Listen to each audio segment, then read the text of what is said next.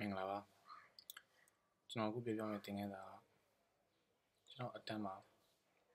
ပထမအဦးဆုံးတက်တဲ့ချိန်မှာပြောတဲ့သင်ခန်းစာဖြစ်ပါတယ်ကျွန်တော်သင်ခန်းက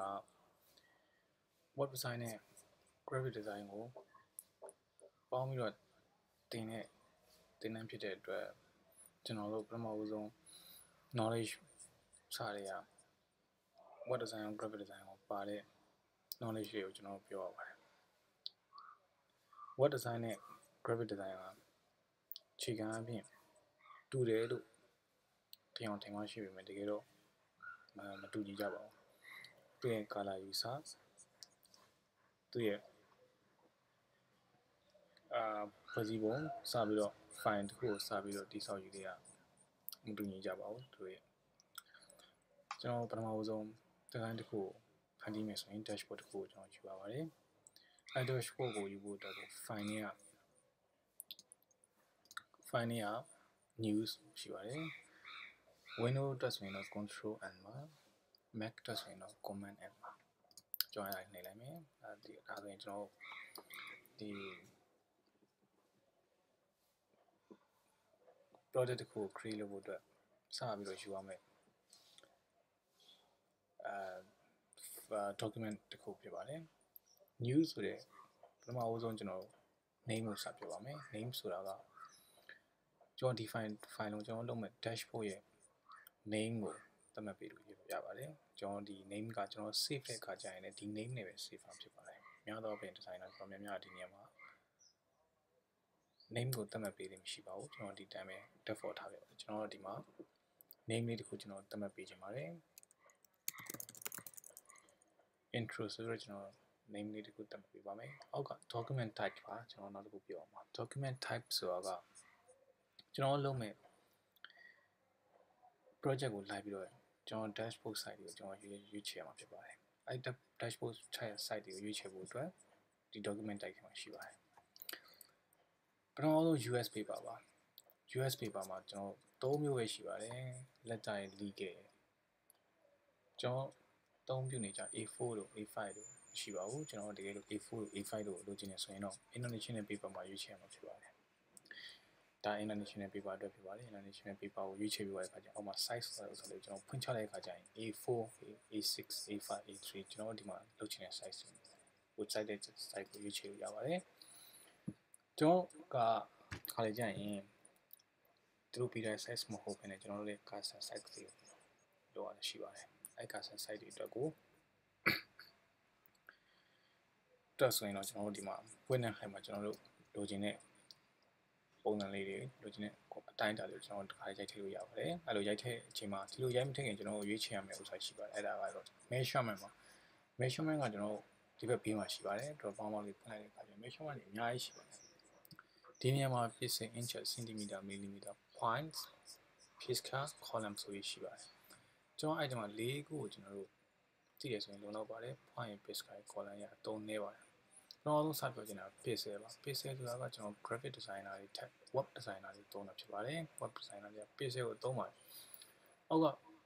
inch တို့ centimeter တို့ millimeter တို့ကတော့ graphic designer တွေသုံးတာဖြစ်ပါတယ်မြန်မာနိုင်ငံမှာတော့ inch ကိုသုံးများပါတယ်နိုင်ငံခြားသားတွေကတော့ centimeter တို့ millimeter တို့သုံးများပါတယ်ကျွန်တော် pixel အကြောင်းကိုကျွန်တော်ပြန်ပြောပါမယ် pixel က web designer သမားတွေသုံးတာဖြစ်ပါတယ် 100% pixel ပဲသုံးရပါတယ် web designer သမားတယောက်တည်း inch တို့ centimeter တို့ millimeter သုံးလို့မရပါဘူးအဲ့လိုမျိုးပဲ graphic designer တယောက်ကလည်း inch inch တို့ centimeter တို့ millimeter လို့ပဲသုံးပါတယ် pixel ကိုအသုံးပြုနေပါတယ်ကျွန်တော်အခုဟောတယ်တော့ inch လေးကျွန်တော်ရွေးလိုက်ပါမယ်ဒါ A4 ရဲ့ size ပါ depth for size ပါကျွန်တော်အပေါ်မှာ A4 ရေးထားခဲ့တဲ့အတွက်အောက်မှာ A4 ရဲ့ width နဲ့ height နဲ့ကိုပြထားတာဖြစ်ပါတယ်ကျွန်တော် resolution တောင်းပြောပါ resolution ဆိုတာကကျွန်တော်ဒီ document မှာပါမယ် pixel ရဲ့တိတ်သေးစာပေါ့နော် resolution များရင်ကျွန်တော်တို့လုပ်လိုက်တဲ့ design quality ကကောင်းမှာဖြစ်ပါတယ် resolution နဲ့ကျွန်တော်လုပ်လိုက်တဲ့ quality ရဲ့ design quality ကကျသွားမှာဖြစ်ပါတယ်ဒီနေရာမှာမှတ်ထားတာနှစ်ခုရှိပါတယ်တစ်ခုက graphic designer သမားနဲ့ web designer သမားဖြစ်ပါတယ် graphic designer သမားတွေအတွက်300 dpi ဟာလုံလောက်တဲ့ resolution ဖြစ်ပါတယ်ဒါပေမဲ့ web designer သမားတွေအတွက်ကတော့82 dpi ပဲထားမှာဖြစ်ပါတယ်82ဆက်ပို့လို့မရလို့82နဲ့ရော့လို့လည်းမရပါဘူး web designer သမားတွေက 82ဖြစ်ကိုဖြစ်ရပါတယ်150လေးလို့200လို့လည်းမရပါဘူး graphic designer တမားတွေအတွက်က300 dpi ဖြစ်ပါတယ်300 dpi ဆိုတာကျွန်တော် default design တွေအတွက်ဖြစ်ပါတယ်ဒီမှာ flyer တို့ postcard နော် wallpaper တို့အဲ့လိုတွေရပါတယ်ကျွန်တော် billboard တွေ page လေးတွေတို့ page ရှေ့တွေဆွဲတဲ့အခါကျရင်300 dpi မဟုတ်တော့ပါဘူးကျွန်တော်တို့ဘယ်လိုခေါ်လဲဆိုတော့ကျွန်တော်တို့က60 dpi ဒါမှမဟုတ်30 dpi ဒါမှမဟုတ်90 dpi ဖြစ်ပါတယ်ဒါကျွန်တော်တို့လုပ်တဲ့ design ပေါ်မူတည်ပြီးတော့ကျွန်တော် resolution ကိုချလို့ရပါတယ် resolution ကိုချပြရမှာဖြစ်ပါတယ်